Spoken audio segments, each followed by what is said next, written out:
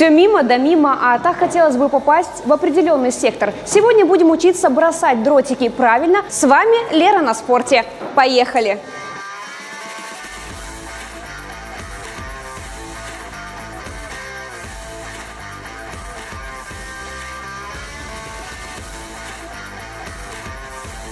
Секреты дартс нам сегодня раскроет Роман Лежнин, председатель Федерации дартс Хакасии. Здравствуйте. Здравствуйте, Валерия. Никаких секретов нету. Эта игра довольно-таки давно уже э, покорила сердца миллионов людей по, всей, по всему земному шару. И вот, наконец-то, она дошла до Хакасии. Вот уже в этом году два года, как у нас есть аккредитованная федерация. А вообще считается, что дартс – это игра пабов, а чем спортивный дартс отличается от э, обычного игрового? А, но это в Англии это игра пабов. С другой стороны, что в Англии есть культура питья, и там люди не друг друга кидают дротиками, когда пиво напьются, а вполне себе культурно и на высоком уровне играют. Там у них есть барные лиги э, очень высокого уровня. У нас все-таки мы стараемся от алкоголя отходить, это только в спортивное русло переводить, хотя для популяризации мы в, в ресторанах и барах э, проводим иногда мероприятия. Ну и разряды, звания можно получить сейчас. Ну, конечно, на сегодняшний день в Хакасии есть четыре кандидата мастера спорта. Вот у нас э, за нашу недолгую э, деятельность уже мы три раза ездили на Сибирский федеральный округ и завоевывали даже медали. А вот э, какими качествами нужно обладать, чтобы добиться успеха? Наверное, это хорошее зрение или есть какие-то более важные вещи, может быть, координация, например? Ну, безусловно, нужно быть координированным. А зрение не так важно. Например, я вот э, там в трех метрах уже ничего не вижу, э, поэтому я всегда хожу, смотрю, куда я попал. То есть, но по ощущениям, то есть можно кидать. Самое главное здесь э, нужно для себя понять, что это серьезный вид спорта. Вот 90% людей такие, о, дартс, пойду, это, два раза кину и это. Здесь нужно отнести серьезно и за вот это вот серьезное отношение игра вас вознаградит, вы ее полюбите. Это очень интересная игра. Важна светлая голова. Нужно уметь быстро считать, моральная составляющая на соревнованиях, например. Вот дома все чемпионы мира.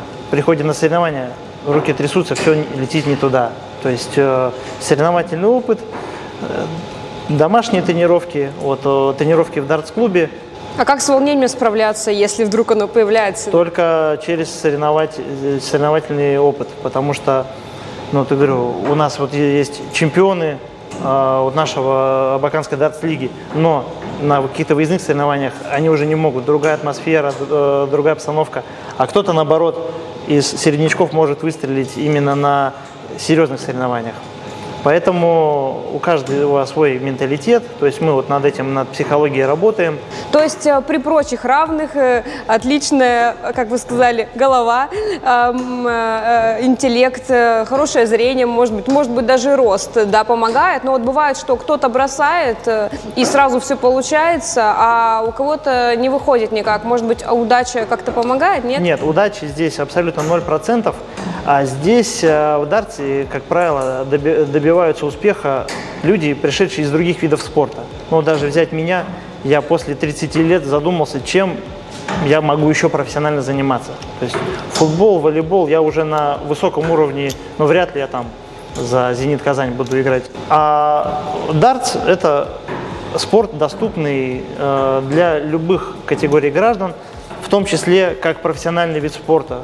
С этого года в России появилась э, международная дартс-лига, на которой хорошие э, призовые, 500 тысяч э, каждый месяц разыгрывается. То есть, пожалуйста, тренируйтесь, едьте в Москву, выигрывайте. То есть это будет ваша работа. Отличный стимул, надо пробовать. Начнем? Давайте перейдем. С чего начинаем? Ну, игра начинается, во-первых, у вас должен быть спортивный инвентарь. Угу. А, вот дротики, Дротик состоит из барреля, хвостовика и оперения.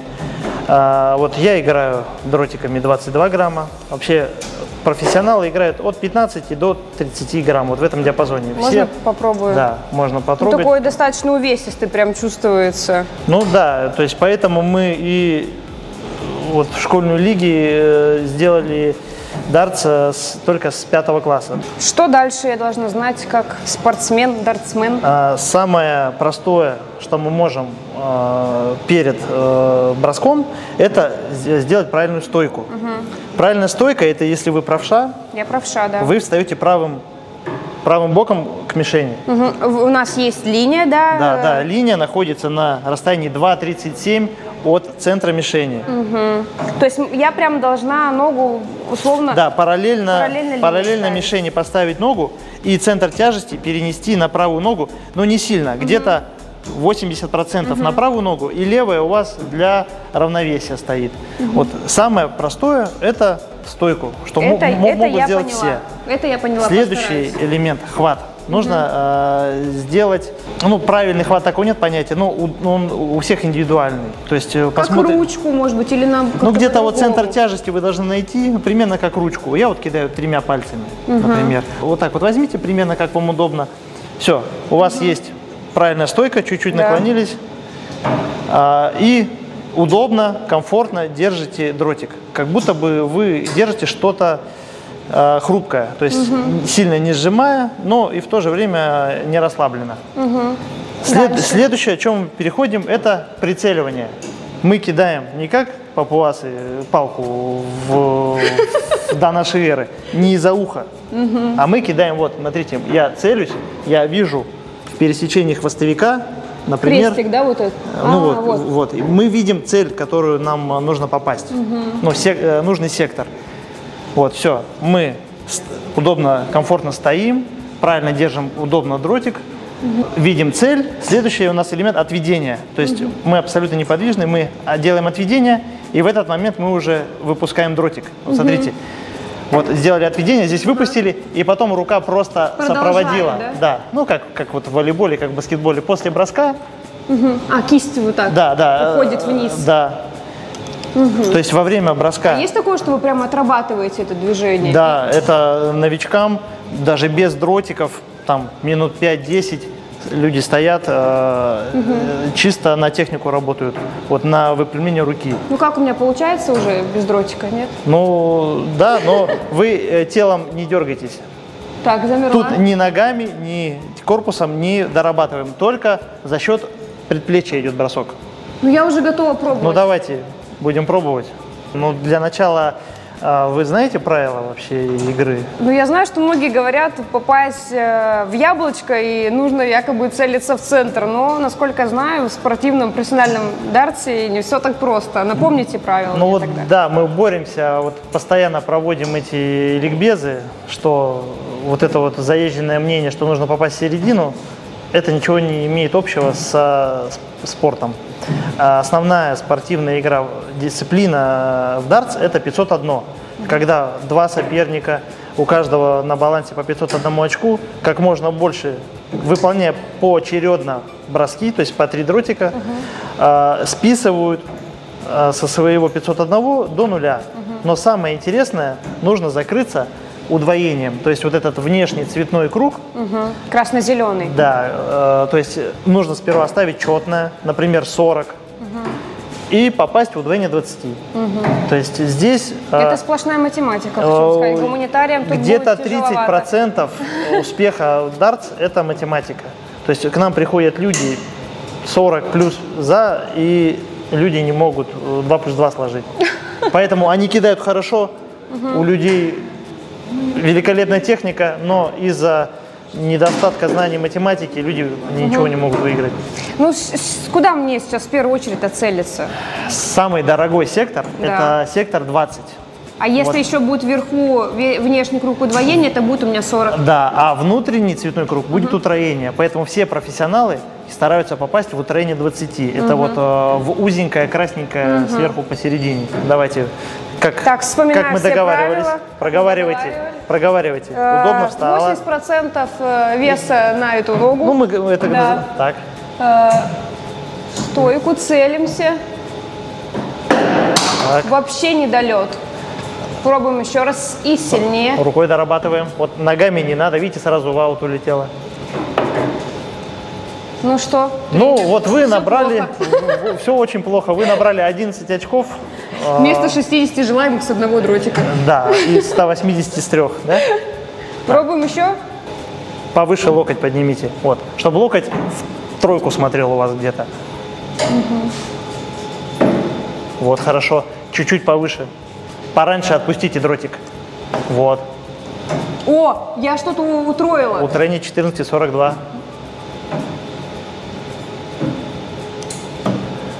О, и и удвоение единицы. Вот, вот, вы как раз хотели... А рядом с по-.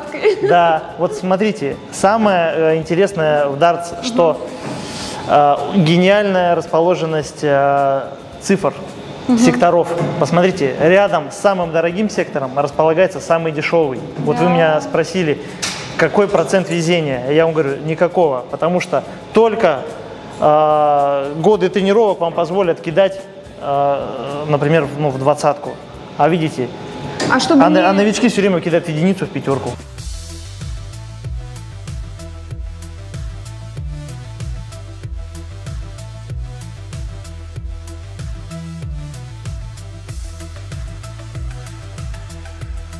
Психология имеет значение, потому как вот ты вроде смотришь, куда тебе нужно попадать, рука вроде показывает туда, но как только ты начинаешь кидать, ты понимаешь, что ну ничего тебя не слушается. В этом плане нужно как-то, я не знаю, прокачать свою психологию так, чтобы голова слушалась тебя. то это такой вид спорта, который сплочает людей. Здесь нет какой-то зависти, какой-то жесткой конкуренции. Здесь все друг друга поддерживают. Если ты не попал, ну тебе никто не создает помех, ты это сам сделал, как бы, или не сделал, да, чего-то. Вот. Поэтому все радуются друг за друга, и мне это очень импонирует. Спасибо вам за мастер-класс. Мне очень понравилось, очень интересно, увлекательно. Видно, что вы очень любите э, дартс. Можете сказать, какая ваша главная мечта э, по развитию этого вида спорта в Хакасии? Но моя мечта или моя задача как председателя федерации, чтобы правила дартса знали в самой дальней деревне самая старенькая бабушка, чтобы люди не приходили и не говорили, в центр надо кидать или куда. Мы к этому идем. У нас э, дартс включен в школьную спортивную лигу. У нас сейчас действует три дартс-клуба в республике Аскиз, Усть-Абакан, Абакан. У нас э, с каждым разом все больше э, людей, уровень растет, но впереди еще очень много работы. Мы вот э, не, не останавливаемся.